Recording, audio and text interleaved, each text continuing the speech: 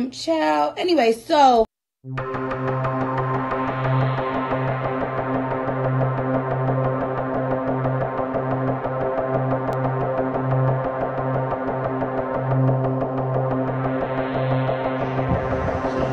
I'm having a fucking panic attack right now. I need to calm the fuck down because I'm having a panic attack.